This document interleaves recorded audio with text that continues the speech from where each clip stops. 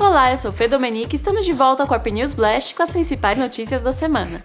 GTA V já tem data para chegar ao Play 4 e Xbox One. Dying Light é adiado para o começo de 2015. Microsoft pode estar perto de comprar a Mojang e muito mais.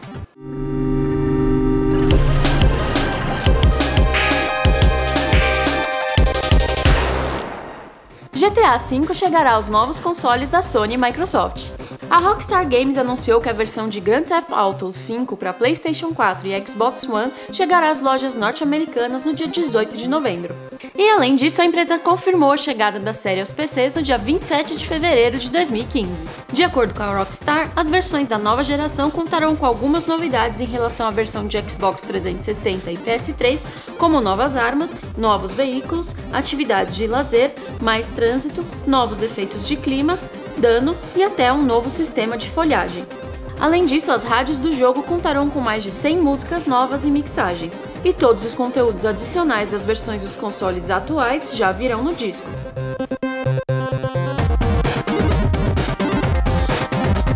GTA V é um dos últimos grandes jogos da geração passada e mesmo assim teve muita gente que não jogou.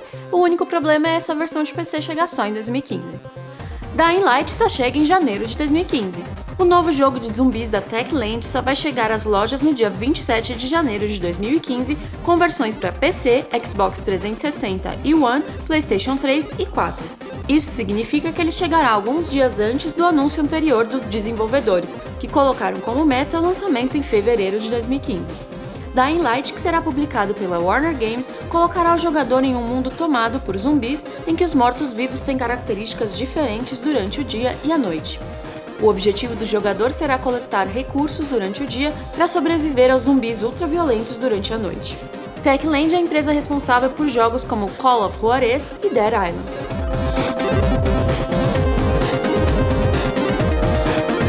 Assim como Dead Island, Dying Light é um jogo que não tem chamado tanta atenção antes do lançamento, mas pelo pouco que a gente jogou nos eventos da Warner, ele é um jogo bem divertido. E a Microsoft pode virar dona do Minecraft. Ao menos é o que diversos jornais de economia têm relatado nos últimos dias. E o valor não é baixo. De acordo com fontes anônimas, a Microsoft estaria preparada para desembolsar 2 bilhões de dólares para fechar o negócio. Atualmente, Minecraft é o jogo mais baixado da App Store da Apple e também da Google Store, além de ser um sucesso de venda nos consoles da Microsoft e da Sony. Outros rumores também afirmam que, caso o negócio se confirme, Notch, conhecido como criador do Minecraft, pode deixar a Mojang.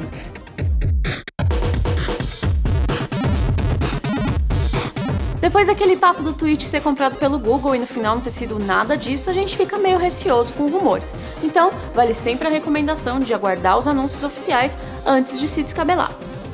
Essa semana a gente foi no Warner Game Summit no estádio do Pacaembu. Conversei com Giliar Lopes e com Daniel Perassoli sobre todas as novidades do FIFA 15 e, claro, sobre por que a gente não vai ter times brasileiros no jogo. Confere. Eu tô aqui com o Giliar Lopes para falar um pouco sobre o FIFA 15. Giliar, conta pra gente o que, que tem de novidade para esse FIFA. Olha, tem muita novidade no game desse ano, que é o FIFA 15. Então, uma das minhas preferidas é toda, todo o trabalho que a gente fez em visual e autenticidade. Então, agora, os jogadores vão ter expressões faciais para demonstrar toda a emoção e a intensidade daquilo que está acontecendo, que a gente sabe que o futebol é um esporte que tem todo esse drama. Então, pela primeira vez, nós fomos até os jogadores profissionais, os maiores atletas do mundo, e capturamos seus rostos, não só na pose neutra, mas também com suas caretas quando fazem gol, quando estão com raiva do companheiro ou do adversário porque tomaram uma falta, quando estão frustrados por terem perdido um gol e muito mais. Então, acho que esse, né, essa revolução do visual e da autenticidade, que só é possível nas novas plataformas Xbox One e PlayStation 4, é que é um dos grandes diferenciais desse game, mas tem muitos outros que eu poderia citar. E agora eu tô aqui com o Daniel Perassoli, que é coordenador de localização da EA. É, Daniel, a gente viu que teve várias mudanças aí na localização. Conta pra gente então o que, que mudou nesse FIFA 15. Uma coisa que eu acho que é o, o, que mais os usuários pediam que a gente fez era mais gritos de gol do Thiago. O pessoal reclamava muito que depois de duas ou três partidas os gritos de gol já ficavam repetitivos. Então, para resolver isso, a gente gravou 100 variações novas. A gente tem tantas as genéricas que podem entrar para qualquer tipo de gol, é, gols específicos como um gol de bicicleta, um gol de peixinho, um gol de cobertura e também para alguns jogadores, gente, claro que não dava para gravar para todos, mas alguns jogadores, os melhores, têm gritos de gol específicos para eles. E eu vi também que vocês estão é, falando bastante sobre a inteligência artificial dos goleiros, né? Conta pra gente como é que vai ser isso.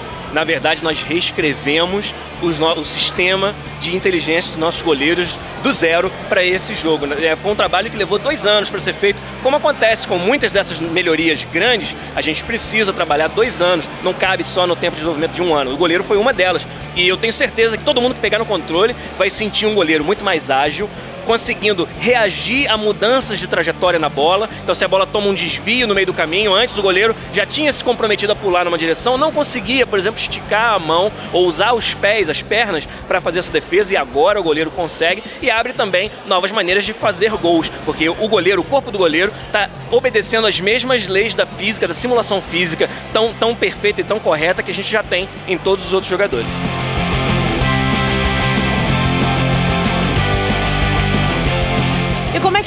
A movimentação do jogador agora, quando ele muda a trajetória? Como é que isso influencia no jogo?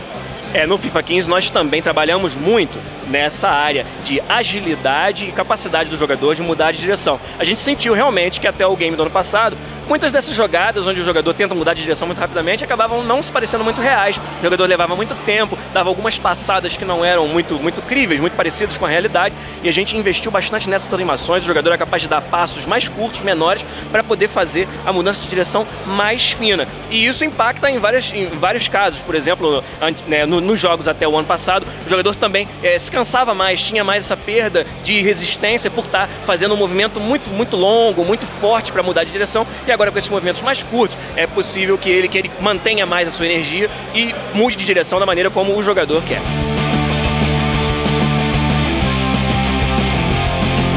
E para os jogadores das versões antigas, teve mudanças também?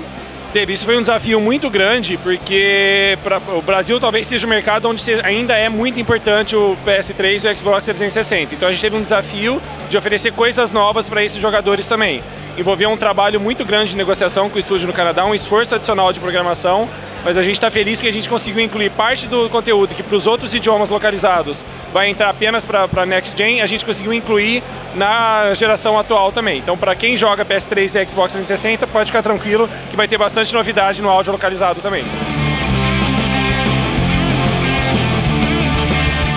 Sabe que teve um problema aí com a CBF, né? O que, que os jogadores podem esperar de campeonatos no FIFA 15? Tá, é, na verdade, para deixar bem claro, nosso problema nem é com a Confederação Brasileira de Futebol. O que aconteceu foi que é, nós, é, o direito de uso da imagem dos jogadores que atuam no Brasil é que a gente tinha esse direito até o ano passado e por mudanças na maneira que esses direitos são comercializados, a gente não se sente mais com a certeza de que a gente tem esses direitos para esse ano. E a Electronic Arts, quando não tem certeza se tem o direito de uso de imagem de qualquer asset, a gente não utiliza. E aí corremos atrás para saber o que que a gente precisa fazer, é, como é que a gente faz para reverter essa situação. E não encontramos no Brasil uma entidade que responda por isso, com quem a gente possa negociar. Então não é nenhum caso, por exemplo, como foi muito falado aí na, na internet, de que a EA não quer é, pagar por esses direitos ou não está interessada em investir nisso. A gente quer pagar e praticamente não sabe para quem pagar, porque não é como nas ligas da Europa, onde existe uma instituição, a Federação Internacional de Jogadores Profissionais, com quem a gente negocia diretamente. Por isso que os jogadores brasileiros que atuam na Europa estão no FIFA 15, do mesmo jeito jeito que sempre estiveram, mas os que atuam no Brasil não.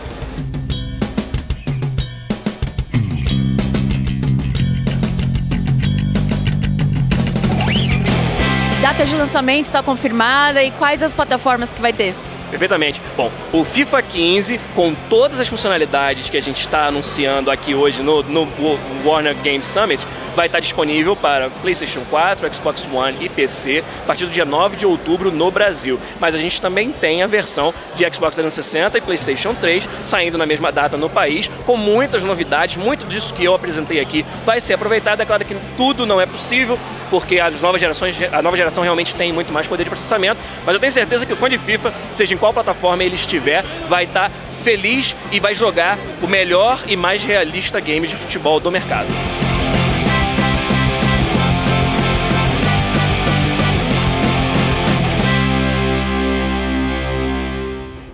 Chegamos ao final de mais um Warp News. Agora é só você curtir o vídeo, deixar o seu comentário, se inscrever no nosso canal e compartilhar com seus amigos. Até a próxima semana e mais um Warp News aqui no Game Blast. Com gatinho.